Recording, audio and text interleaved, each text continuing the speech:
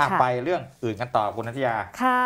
เอ่อเรื่องของโครงการคนละครึ่งเฟสสี่แล้วกันค่ะครับมีคนอยากทราบว่าตกลงแล้วเนี่ยจะได้เริ่มเมื่อไหร่ยังไงบ้างเนี่ยอ่านะคะมีความชัดเจนแล้วนะครับ ค่ะเอ่อสำหรับโครงการคนละครึ่งเฟสสี่นะคะ ทางคุณธนกรวังบุญคงชนะ บอกว่าทางพลเอกประยุทธ์เนี่ยก็เอ่อรับทราบถึง ความกังวลของพี่น้องประชาชนนะคะ แล้วก็รวมถึงสถานการณ์ของโอมิครอนในขณะนี้ด้วยนะคะ จึงได้มอบหมายให้กระทรวงการคลังเร่งรัด โครงการให้เร็วขึ้นจากเดิมค่ะ จากเดิมที่กำหนดเวลาเอาไว้ช่วงมีนาถึงเมษายนเนี่ยก็นายกก็สั่งการเร่งรัดให้เร็วขึ้นกว่านั้นเนี่ยนะคะ โดยคุณธนกรเนี่ยก็ยังได้พูดถึงกระแสข่าวว่าจะให้ประชาชนกลุ่มเก่าที่เคยได้รับสิทธิ์ กดยืนยันสิทธิ์ และให้คนกลุ่มใหม่ 5 ล้านคนลงทะเบียนเข้าร่วม โดยในตามข่าวเนี่ยบอกว่าจะเป็นวันที่ 16 มกราคม แต่ว่าทางคุณธนกรบอกว่า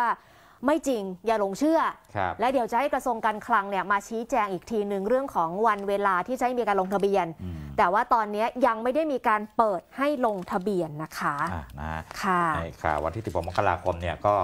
เอ่อเกิดขึ้น หลังจากที่มีการออกมาให้สัมภาษณ์เพียงไม่กี่วันของค่ะท่านรัฐมนตรีคลังรัฐมนตรี สุพัฒนพงศ์เนยนะครับค่ะว่าจะมีการปรับให้เร็วขึ้นพวกพวกข่าวปลอมนี่เร็วนะคุณนันทิยา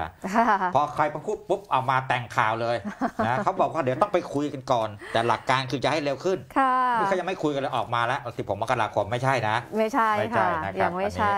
ส่วนเมื่อกี้มีคุณผู้ชมถามมาในในช่องอินเอ่อคอมเมนต์เนี่ยนะครับว่าบัตรคนจน เมื่อไหร่จะอ่าให้เราเปิดให้ลงทะเบียนรอบใหม่ โดยหลักการที่ออกมาก่อนหน้านี้ก็คือว่าเอ่อตอนเนี้ยเขากำลังทำรายละเอียดกันอยู่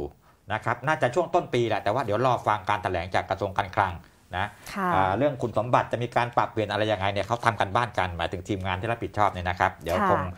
มีการประกาศแจ้งเป็นทางการข่าวพวกนี้ต้องฟังข่าวเป็นทางการค่ะอย่าไปเอาข่าวจากใน แชร์ในกลุ่มไลน์อะไรกันมาหรือนะไปครับฟังจากใน YouTube อะค่ะอ่าซึ่งโดยที่บางทีเนี่ยไม่ได้ที่ผมมีบอกแหล่งที่มาบางทีมันคนก็มาพูดเอาเอาค่าโฆษณาน่ะค่ะนะแล้วก็ไม่มีความน่าเชื่อถืออะไรนะครับรอแถลงกระทรวงการคลังเลยดีกว่าแล้วเวนะคลารับพูดเรื่องอย่างเงี้ยคนเข้าไปดูเยอะครับแล้วเขาได้ยอดวิว แล้วเขาได้อ่าตังค์แต่คุณไม่ได้เลยเลยนะเขาคะก็พาดหัวกำกวงไปนะครับเออให้เราสนใจเข้าไปคลิกกันนะครับค่ะ